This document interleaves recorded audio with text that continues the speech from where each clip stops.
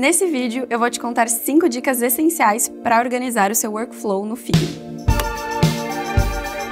Olá, eu sou a Lari Tedeschi e sejam muito bem-vindos e bem-vindas à Pan-Americana. Então, para a gente iniciar, já estou com o meu arquivo aberto aqui no Figma, um arquivo né, que é o do tipo Design File. A primeira dica são dois atalhos que são bem importantes para que a gente consiga se movimentar de forma mais fácil e rápida aqui dentro do Figma. O primeiro é pressionando o Ctrl do teclado, então você fica pressionando e você vai rolar o scroll do mouse para cima e para baixo, para que a gente consiga dar o zoom out e o zoom in aqui dentro do Figma. Eu vou criar um retângulo só para que a gente consiga visualizar visualizar melhor.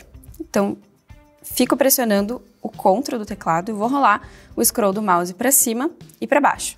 Dessa forma, a gente consegue se aproximar e se desaproximar de forma bem mais fácil. A gente não precisa ficar controlando o zoom aqui em cima ou então com o mais e com o menos no teclado. Então, na hora de criar algum design, fica bem mais fácil. O outro atalho é você pressionar o scroll do mouse e se movimentar aqui dentro. Então, para que a gente não precise ficar dependendo dessa barrinha aqui para se movimentar, ou então da Hand Tool aqui, porque na hora da criação do design é mais trabalhoso a gente ficar trocando de ferramenta toda hora, a gente pode simplesmente pressionar o scroll do mouse e se movimentar aqui. Então, dessa forma, a gente consegue se movimentar muito mais rápido e isso otimiza o nosso tempo na nossa criação aqui dentro do Figma. A segunda dica é você usar as subdivisões de páginas aqui dentro do Figma. Então, se você vier aqui nesse ícone de Page One e clicar aqui, abre esse menu onde a gente consegue criar várias páginas aqui dentro do Figma. Dessa forma, a gente consegue se organizar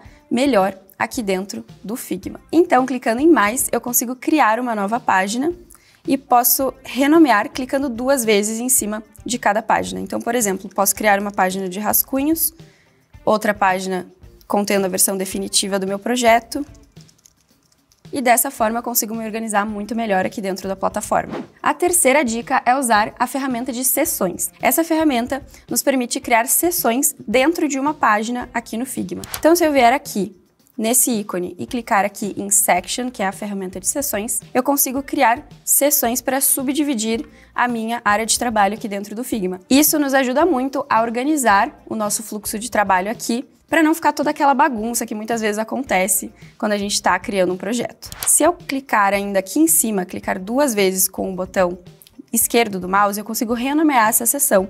Então aqui dentro também posso criar uma seção, por exemplo, de rascunhos, ou para a gente deixar aqueles objetos que muitas vezes a gente não vai utilizar, mas também não quer excluir.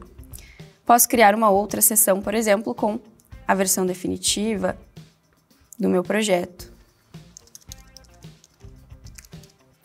E eu ainda consigo mudar de cor para cada sessão. Então, isso nos ajuda muito a organizar e melhorar o nosso fluxo de trabalho aqui dentro. A quarta dica é utilizar a ferramenta de Styles aqui dentro do Figma. Essa ferramenta nos ajuda a criar estilos e se a gente fizer isso desde o início do projeto, a gente não precisa perder tempo durante a produção do projeto para ficar indo atrás das cores, das fontes, porque já está tudo salvo aqui dentro do nosso arquivo. Então, para isso, eu vou colocar algumas cores base, só para mostrar para vocês. Então, já coloquei duas cores aqui dentro do Figma, vou selecionar o primeiro quadradinho que tem uma cor aqui. E para criar um estilo, eu vou procurar aqui dentro do Figma esse ícone de quatro pontinhos. Todas as configurações que tiverem esse ícone significa que eu posso criar um estilo com essa configuração. Então, nesse caso, é a configuração de preenchimento utilizando esta cor aqui. Então, eu vou clicar aqui nos quatro pontinhos, venho aqui em mais para criar um novo estilo e aqui eu posso criar esse estilo, por exemplo, né, da cor cinza. E aqui eu criei um estilo. Vou criar dessa outra cor, vou mudar aqui, vou colocar vermelho. Clico nos quatro pontinhos, clico aqui em mais e clico aqui em Create Style para criar esse estilo. E agora, quando eu for criar um novo design, eu não vou precisar utilizar a ferramenta de conta-gotas ou ficar digitando o código aqui. É muito mais fácil, eu venho aqui nos quatro pontinhos e eu já tenho as minhas cores salvas aqui. Então, quando a gente está trabalhando em algum projeto que tem uma identidade visual já pronta, a gente pode já salvar ela na forma de estilo aqui, que fica muito mais fácil de aplicar e isso otimiza muito o nosso tempo durante a produção do projeto. E a quinta dica é utilizar a ferramenta de componentes aqui dentro do Figma. Assim como a gente fez com as cores e a gente pode fazer com os textos, né, utilizando a ferramenta de styles, ou outras configurações, a de componentes permite com que a gente salve elementos aqui dentro do Figma. Então eu vou colocar aqui como exemplo um quadradinho também, E eu vou transformar esse quadradinho num componente clicando nesse ícone aqui em cima. Se eu clicar, eu transformei esse elemento em um componente. E agora, se eu fizer cópias desse componente para utilizar nos meus designs, todas essas cópias vão obedecer o componente mãe, que é esse aqui que eu criei.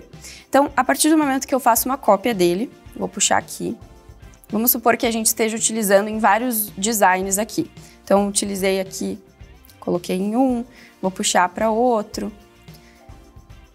se eu alterar alguma configuração do meu componente mãe, todos os componentes filhos ou as instances, como a gente chama aqui dentro do Figma, vão alterar também. Então, por exemplo, vou selecionar aqui no meu componente, vou selecionar o quadrado e vou mudar ele de cor e automaticamente todas as outras instâncias, né, os filhos desse componente mãe aqui, vão alterar também. A gente pode usar essa ferramenta com elementos que são repetidos várias vezes em diversos designs aqui dentro do Figma, porque caso a gente tenha que fazer alguma alteração, a gente não precisa alterar em todos os frames em que esses elementos estão sendo utilizados. Basta apenas alterar o componente mãe que todos irão alterar automaticamente. Isso facilita muito a otimização do nosso tempo aqui dentro do Figma. Me conta aqui nos comentários se você conhece alguma outra ferramenta que facilita muito no workflow dentro do Figma. Se você gostou desse conteúdo, não esquece de deixar o seu like e se inscrever no canal. E se você quiser se aprofundar nos conteúdos de Figma, conheça os cursos da Pan-Americana entrando no nosso site.